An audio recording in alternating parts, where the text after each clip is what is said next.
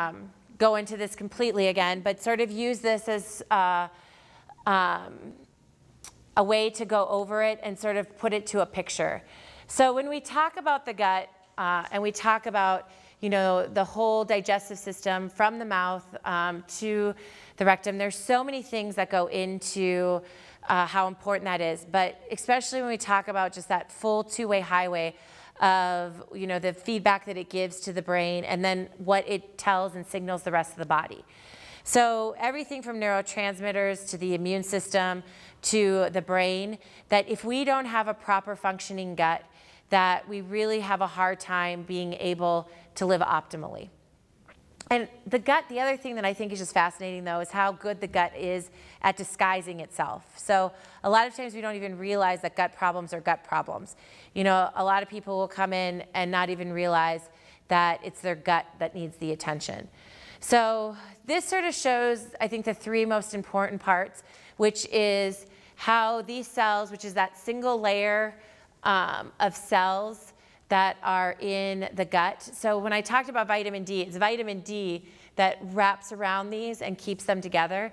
So what happens then is that if there's improper feedback, we start to get neurotransmitters off because all of a sudden those neurotransmitters are getting improper signals. We start to see changes in the bacteria and we start to see an increase in inflammation. And those pro-inflammatory um, chemicals like the cytokines, what they do then is that they'll then activate that immune response everywhere and that inflammation response everywhere. So that's one of the reasons why we put a lot of emphasis on the gut and gut healing while we're doing everything else when it comes to managing and helping to support our patients, especially our Lyme patients. And then here are some other things that we do at the clinic at Stillwater. Uh, I know some of you uh, have gone to see Dr. Bush. So uh, some of the Lyme support that we do is we do nutritional and light IV therapies, uh, SIBO diagnosis and treatments. Uh, we do hormone management, so take a look at hormones and see what we can do to help manage those. Uh, and the hormones aren't just the sex hormones like estrogen and progesterone and testosterone. We also do a lot of things with the adrenal and the stress glands um, and thyroid, especially with a lot of our chronic patients because we find we can't get ahead of a lot of the things we're doing unless those are balanced and on board with care. Um, neurotransmitters, so we do everything from neurotransmitter testing to helping to balance it um, and neurotransmitter support. Um, we do testing for other chronic infections, um, chronic um, sinusitis and treatments. Uh, we do autoimmune support, and then obviously uh, we do Lyme testing and test interpretations and Lyme programs. If any of you guys would like to keep updated, uh, know more about Stillwater uh, and things that are going on, uh, the web page is uh, Stillwater Natural, or you can find it under Natural Medicine of Stillwater uh, so you can go there. I also personally too have done, I do a podcast. It's uh, called Beyond the Basics Health Academy, and I've done some, uh, have been lucky enough to interview some great individuals um, with Lyme. Um, so we've done everything from genetic testing. Um, Bob Miller, who does a lot of the genetic software uh, and does work with genetic information, he's been on twice. Uh, I've had um, a couple Lyme patients come on and talk about their journey, and we have a really good Lyme um, podcast about supporting somebody with Lyme because I think that unfortunately uh, individuals don't get the support that they need from loved ones uh, when they're battling Lyme. And then here's the information for Natural Medicine of Stillwater. Uh, the phone number is 651-342-1043. You can check out more at um, Facebook or go to stillwaternatural.com um, and learn about both Nirvana, which is the testing for SIBO that Dr. Bush does, and uh, other things that we do at Stillwater. Uh, Molly is the front desk receptionist. She is um, just a bundle of sunshine. So if you guys have any questions, she knows a lot. Uh, or you can email and she'll be happy to get back to you at office at natural or at stillwaternatural.com. All right.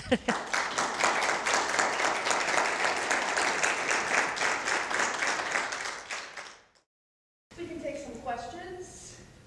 I have a comment. I, I'm just um, two weeks out of my treatment on the antibiotic. Yes. lot better. Yep. It's amazing. I, I, if you had told me it would have made such a big difference in how I Mm-hmm. felt, I, I, I wouldn't have been able to believe it, but it, I do feel a lot better. And I think that that's so important because what we see so many times too is that, um, and this is sort of what I was saying at the beginning, is we're not used to realizing that with chronic problems and concerns, there really is so much that we have to address. And even with the primary problem, um, is being addressed and treated right, that a lot of times we have to look at those other puzzle pieces. And we see that all the time. You know, we have people come in and they're even a little bit hesitant, like, what does this have to do with me? Or is it going to make that big of a difference? And we really get that feedback a lot is that by putting this piece of puzzle, and how important it is for us to really rebalance the brain and gut, that it can make a big difference in every aspect of life. Yeah. You said that they do the in-house testing once a month, is that correct? Just once a month, they do the in-house if you want to go and sit there for three hours, but they mail it out every day of the week. So if you want to do it just in the comfort of your own home, locally, you can, they have a couple different uh, options. So you can either go and pick it up, bring it home, do it, and then bring it back, or you can mail it even locally too. And then do you, with the, I know you have a, you- you go on a special diet usually with the, with the treatment. Do you have to stay on that diet after the treatment? Nope. No. So that's really, so that's another thing too, is that because of the approach um, that we are taking, you know, it's about then rebuilding the bacteria and then rebuilding the gut. So we do it sort of in stages, but by rebuilding the gut, we can return you to a more normal diet. So how much is the consult and the test? So you'd have to call Molly for that. I'm terrible with prices. So I can give you a general idea though. The test, because he does the in-office one, I want to say the test is 170. Um, it's somewhere between 120 and 170. You might know better with prices. Um, Bradley charges like for, um, an appointment at hundred and eighty dollars an hour, but he'll divide that hour up if you only take fifteen minutes. He'll just charge you how much it takes, and I don't remember how much the test was. Okay. The test, I'm better with the test. I didn't know how much he charged per. But the test is somewhere between 120 and 170. So, um, so yeah, he, that's one of the reasons why he brought it in office is to make it cheaper. And then repeat tests are less. So that's the nice thing too, is before, you know, we were looking at $200 for every test, and if we repeated it, the company out in California didn't care. It was 200 every. But if people um, are repeat testers, he gives a significant discount because he wants to make sure those methane and hydrogen gases are coming down. Yeah? Is, is it related to rifampin? The, the antibiotic? No, it's in a different category. Yep, so it's a different category. So it's Xifaxan or rif, uh, rifaximin. So, but yeah, it's not the same as the rifampicin. Doria? And I'm also assuming that this isn't something that if you just go to your primary care doc at Allina that they even talk about, usually. Yeah, you've got maybe a, you've now got maybe a 10% chance. Um, so it's better than it used to be zero. Uh, primary, I would actually say primary, haven't heard of it much, but a lot of gastroenterologists now do.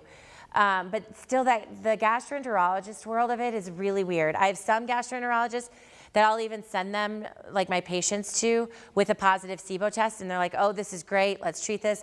And I've had other people who've had that test done with their gastroenterologist because they want to follow up and say, listen, we found it. And they'll be like, oh, no, this isn't it. And, but they'll know what SIBO is. So I've had a really hit or, mic, uh, hit or miss when it comes to the uh, gastroenterologist world. So, but they have at least heard of it. So most, most of them have. Anybody else? How much vitamin D do you recommend for winter? Yep. So great question. Uh, and so I sort of depends on what your level is uh, right off the bat. So people can pretty much, everyone here especially, can be pretty safe at 5,000 in the winter, 2,000 in the summer um, is, a, is a safe amount. But it all depends on what your level is. So people, I have a lot of people in this area that come in to see me who, you know, are in the 20s. So I would like to see you at least 50 and preferably closer to 80. Those are sort of my target range for optimal function. And so if we need to, what I'll do sometimes is increase the dose a little bit more um, for a while and then recheck and see where you're at. I will also see a lot of individuals, and this is actually a good sort of sign uh, that you can almost do a little bit of a diagnosis. If you're taking tons and tons of vitamin D, and you know even taking 2,000 a day or taking 5,000 a day, and you're not seeing your vitamin D level move at all, that's almost always GI inflammation. So instead of absorbing it and utilizing it, it's just sort of going through you. So those are individuals then that we might need to put on a larger dose for a little bit, heal the gut, recheck them, and then get them back down. Another interesting thing that I think is important about being in this um, uh, latitude is to know that really between um, September to May, we're tilted away from the sun. So even the days that we're, we feel like there's sunshine, we're just not getting enough because we're tilted away. So that's why I go up to 5,000 on anybody who doesn't want to check, they'll be safe. And then if we've checked, sometimes I'll even get them up to 10,000. What do you know about the, uh, the doctors are now starting to prescribe prescription vitamin D where you take uber high doses once a week? Uh, Are you familiar with that? Yeah, so I don't like, so they use vitamin D2, um, which just isn't as good for the body. So, but it's synthetic, so they can patent it, so it's a prescription. Um, so I don't like the vitamin D2, but it's as easy, but I don't mind, like, I've put a couple of my patients just on once a week, um, and it is fat soluble, so you don't have to take it every day. It's not like B vitamins where, you, know, you need to sort of take it every day to support if, uh, you know, you need it. So you can take it every day and you can do 10,000. Some people can even do 50,000 um, and be okay, but that, those people you would want to monitor and make sure, and I would prefer that you would just go buy a supplement that's vitamin D3 that's more absorbable and utilized than to do the prescription. So, and I've had a couple people come to me on prescriptions and have noticed the same thing, like they don't get their levels up. So, and a lot of those prescriptions, unfortunately, too, have binders and other things too that they put in there. So, I would rather that you just do a supplement. So, because instead of the vitamin D2. Yep. I've this uh, before, and a lot of Lyme people have been on uh, antibiotics for a long term. Uh, Is there, have you heard uh, that can can plug up or block your liver function, uh, long-term antibiotics? So yeah, so a couple different things there is that um, just from a long-term use, that that there's a couple things that where the liver can be affected. You're going to be rele- releasing a lot more, being on antibiotics, like a lot more byproducts, too, which you're anything that's in your body, your liver ultimately has to be that manufacturer and that chemical factory that gets it out. Uh, the other thing that I think is a huge component that I think we'll learn more and more about is the effect of the microbiome and how much the liver is even dependent on those bacteria. So uh, I think you're getting sort of a twofold. And right now, um, you guys might know this, but there's a great microbiome summit going on that's free, uh, where they are interviewing a bunch of people on the forefront of the microbiome. Um, and so right now, if you just search Microbiome Summit, for the next couple days, they're um, putting all of those talks free. But one of the things that we're learning is that we sort of know the importance of it in the gut.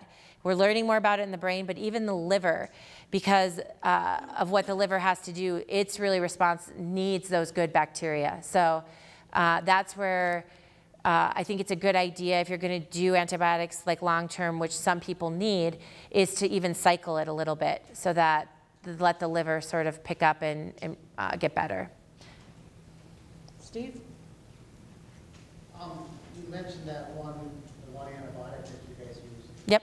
Will that go after, um, candida also? or not? So, because candida is a yeast, so not as much. Now, the interesting thing is the herbs will, because the herbs are berberine and oregano, and they have a high affinity towards yeast. Um, but the probiotic we use, Saccharomyces boulardii, also goes after candida. So one of the best things that I put any of my candida patients on is Saccharomyces boulardii. And that will really help to not only go after the yeast, but keep that good yeast up so it doesn't keep coming back. Um, but the rifaximin itself doesn't really have an ability to kill off yeast. So realistically, um, antibiotics have done this to a lot of people that don't even have Lyme disease, correct? I mean, the doctors Yeah. just, I mean, in the last thirty years, they've just loaded everybody up with antibiotics. Yeah. And, and then after two or three weeks or a month of it, your stomach's just screwed. Yeah. And there you go, you know? hmm And now we're buying their drugs on TV to get fixed. SIBO is 100% a byproduct of our current state. Uh, we would not see SIBO back uh, even I'd say 100 years ago. So I think, you know, our food plays a role in it, obviously antibiotics. Our fear of bacteria has really done this um, because of the fact that, uh, you know, and this is actually sort of something that is a little bit of a pet peeve, but I do it in speeches, good versus bad bacteria. It's supposed to be a balance. And unfortunately, with the way that we've sort of prescribed antibiotics, and we're going away from it a little bit now, but, you know, especially back in the 80s and 90s, it was let's get everybody on it. Um, and so that's what sort of sets us up to be able and to see this in more and more people and in a, in a large amount of people. Um, whenever I was on antibiotics when I was younger, when I went off home, my mom was shoving probiotics in me. And you talked about rotating different kinds? So I think it depends. Uh, if you feel like you're very depleted, like if you've been on a lot of antibiotics, if you've been on broad spectrum antibiotics, excuse me, then I would highly recommend to, you know, choose, you know, three to five and look at the different strains. So you always want one with a lot of like lactobacillus in it. Lactobacillus tends to do more of the upper GI, so we see it more in the stomach and upper part of the small intestine. But then even in that family, there are so many different benefits. Um, there's one called Rhamnosus, which we actually have done a ton of research on with ADHD in the brain um, and seen great results in research about what uh, Rhamnosus has done um, to um, brain development, especially in kids. Um, Reuteri is another one that we see a lot of great things with. Uh, and then, Names of probiotics? Yep. Is this- okay. Yep. So, and I mean, you don't have to remember what each one does. Um, you don't have to be completely nerdy like I am. But um, it's just sort of important to realize that, like, it's not just about, you know, Lactobacillus acidophilus is the one that gets the spotlight, but it's not the full picture by any means. And then uh, uh, Saccharomyces boulardii is one I highly recommend for individuals, especially anyone that's been on antibiotics or anybody that's got a chronic uh, concern, because Saccharomyces boulardii can be a game changer. And then to make sure you're getting good bifidobacterium too, which tends to do the lower part of the gut and the large intestine. But the easiest thing to do, because you'll drive yourself crazy, is just pick th- three, pick four. Um, if you feel depleted, take all three of those at the same time for a couple months. Um, if you feel like you're just trying to keep a good balance, like what I do is I just switch each bottle. And I go probably between five to six different kinds. Um, you throw out some, You, you're looking for brand names, or, yeah, I'm looking. to- yeah, she's They- looking for, yeah. Yeah, but I understand what you're saying because my doctor was saying too, it's really important to have the saccharomyces. Yeah, boulardii. Um, so I find that there's good companies. I should say that. Klaire Labs, um, K L A I R E, does a great job with their probiotics. Um, I actually really like Dr. Perlmutter's too, which I think you can find even in like a Whole Foods or co-op. Um, Klaire Labs, I think you'd have to go online to find them. Um, I use in my office uh, Xymogen a lot, but they, uh, that don't sell online. So you'd have to have a practitioner that uses them. Orthomolecular is another one you can find online. So that's O R T H O M O L E C U L A R. And you don't have to refrigerate those. Yeah. Which is handy when you're traveling. Yep.